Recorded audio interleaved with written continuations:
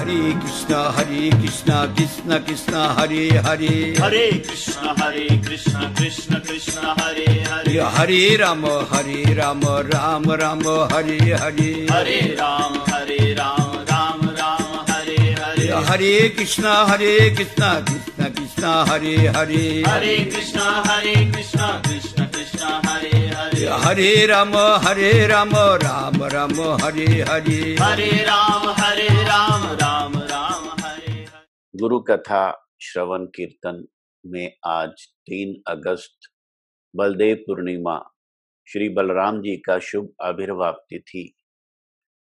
गोकुल महावन में बलराम जी का आविर्भाव रोहिणी माता वसुदेव पिता और देव की माता। बस पहले देवकी माता के गर्भ में आए, फिर योग माया द्वारा आकर्षित होकर रोहिणी माता के गर्भ में आए। इस प्रकार दो माताएँ, ऐसे हमारे बलराम जी, हमारे गुरु महाराज जी आज के दिन बहुत भाव से सुबह की मंगल आरती के बाद खूब जायदा जायदा करके नृत्य कीर्तन करते, वृंदावन में, झूलन महोत्सव में, और बलराम जी की बड़ी भाव से स्तुतियाँ करते। नमस्ते तु हलग्रामम नमस्ते मुशलायुधा, नमस्ते रेवती कांता, नमस्ते भक्त वत्सला नमस्ते बलिनाम श्रेष्ठा, नमस्ते धरणी धरा प्रलंबारे नमस्ते तू त्राही माम कृष्ण पूर्वजा, त्राही माम कृष्ण पूर्वजा। त्राही माम कृष्ण पूर्वज। इस प्रकार बलराम जी की स्तुति गुरु महाराज जी। हमारे वेद व्यास जी ने दशम स्कंध में बलराम जी के बारे में भी लिखा कि कंस के कारागार में देव की वसुदेव जब हैं तो एक एक करके उनके पुत्र हुए। पहले पुत्र का नाम था कीर्तिमान। और कंस ने एक एक करके उनके छह बच्चों को मार दिया। देव की वसुदेव को हथकड़ी बेड़ी से जकड़ कर कैल में डाल दिया। जो जो पुत्र होते गए उनको मारता गया। हर बार कंस को ये आशंका बनी रहती कि कहीं ये विष्णु तो बालक के रूप में ना आ गया हो।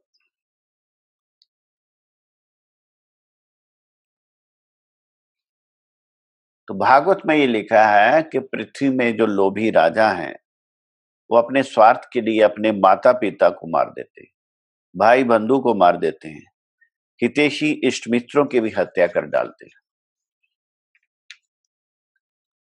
कंस जानता था कि मैं पहले काल नेमी असुर था और विष्णु ने मुझे मार डाला था। इसलिए उसने यदुवंशियों से घोर विरोध ठान लिया था। कंस बड़ा बलवान था। उसने यदु भोज अंधक वंश के अधिनायक अपने पिता उग्रसेन को कैद कर लिया।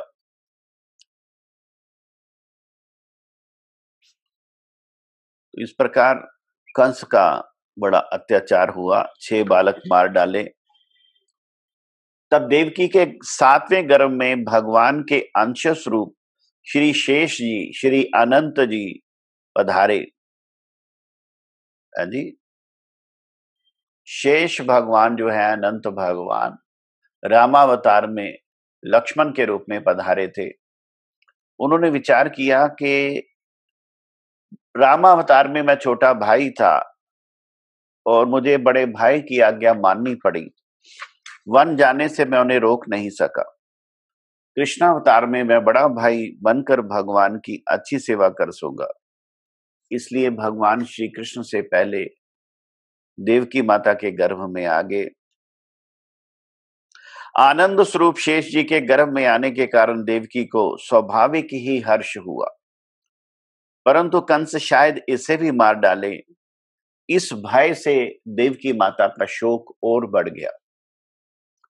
विश्वात्मा भगवान ने देखा कि मुझे ही अपना स्वामी और सर्वस्व मानने वाले युद्धवंशी कंस के द्वारा बहुत ही सताए जा रहे हैं। तब उन्होंने अपनी योग माया को यह आदेश दिया, देवी, कल्याणी, तुम ब्रज में जाओ।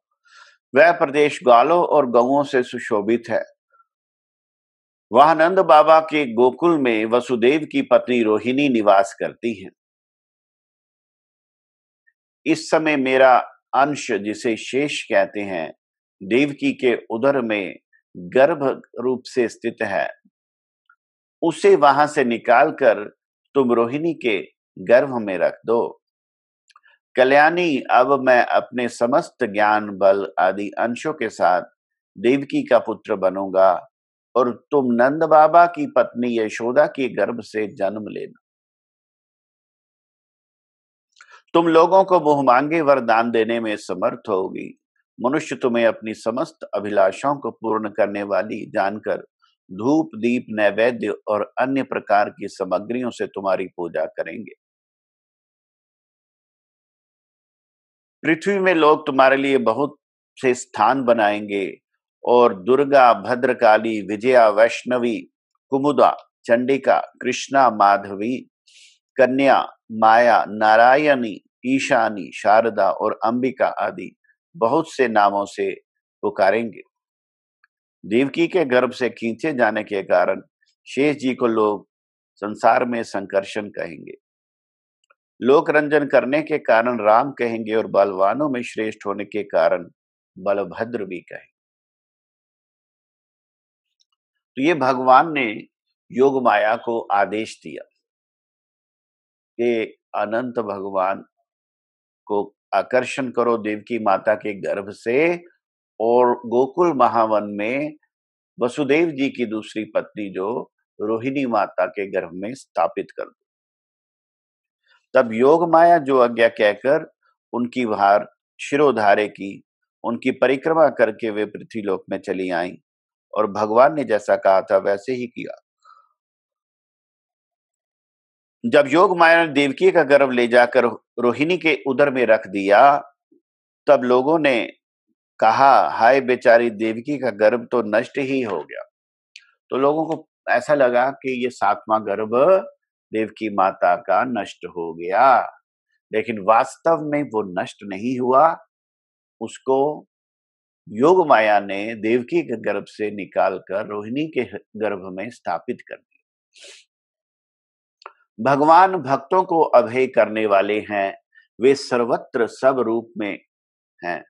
उन्हें कहीं आना जाना नहीं है, इसलिए वे वसुदेव जी के मन में अपनी समस्त कलाओं के साथ प्रकट हो गए। उसमें विद्यमान रहने पर भी अपने को अव्यक्त से व्यक्त कर दिया।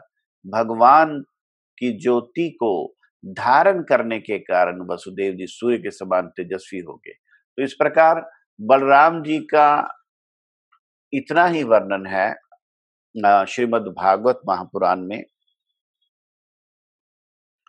उसमें ये कहा कि उनको देवकी के गर्भ से आकर्षण करके रोहिणी माता के गर्भ में आ, स्थापित कर दिया। तो वहाँ पे जब रोहिणी माता के गर्भ से प्रकट हुए हैं तो उनकी स्तुति हुई है।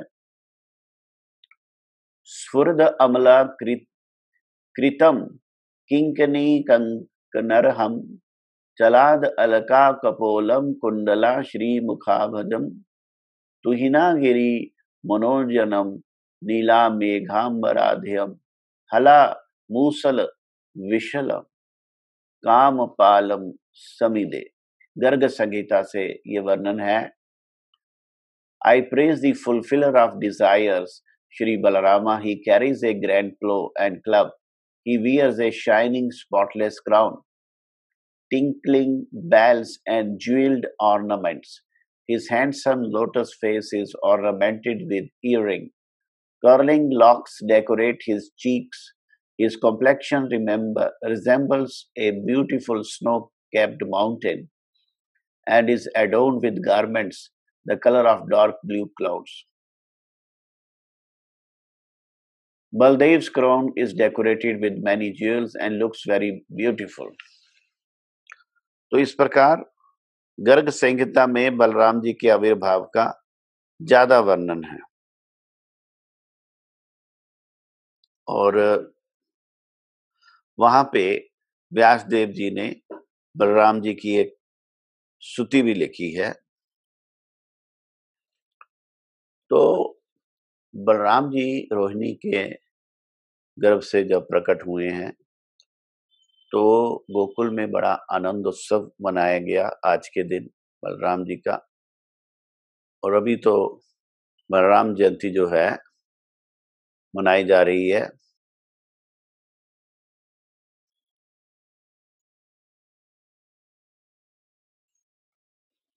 भगवान कृष्ण जो हैं,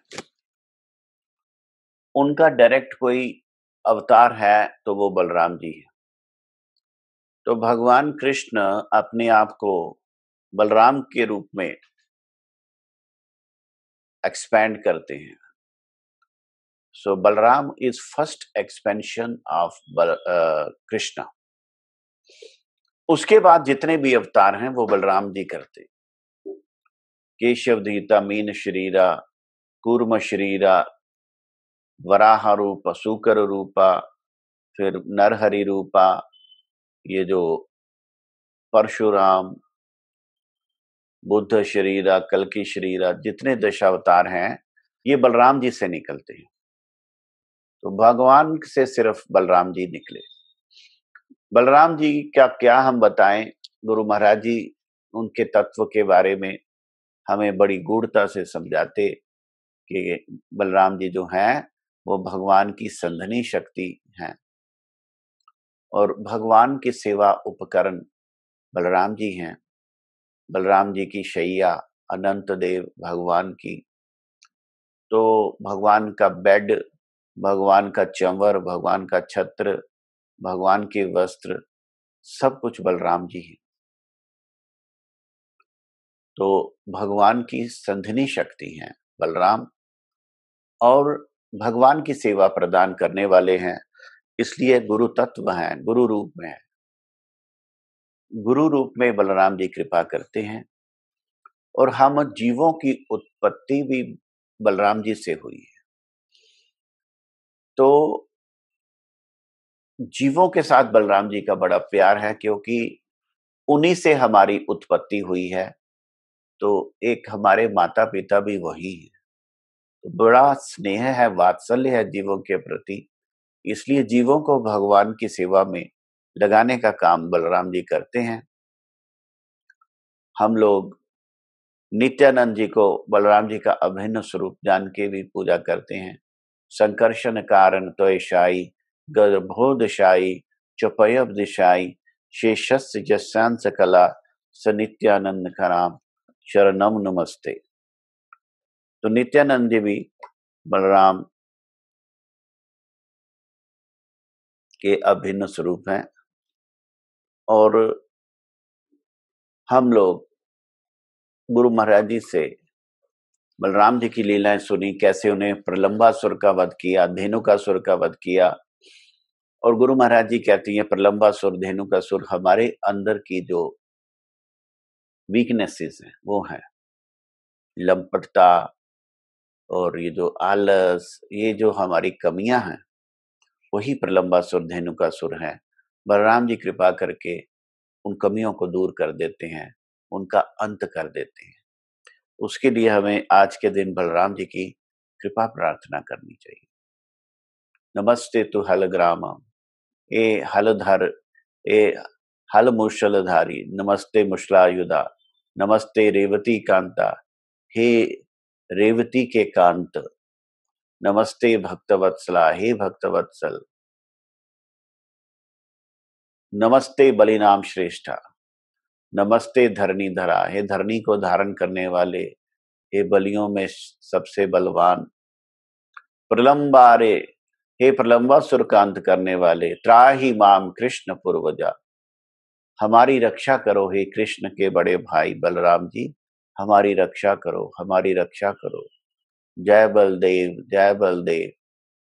भगवान बलदेव की खूब कीर्तन गुरु महाराज जी करवाते राम कृष्ण वासुदेव, बलदेव हरि हरि।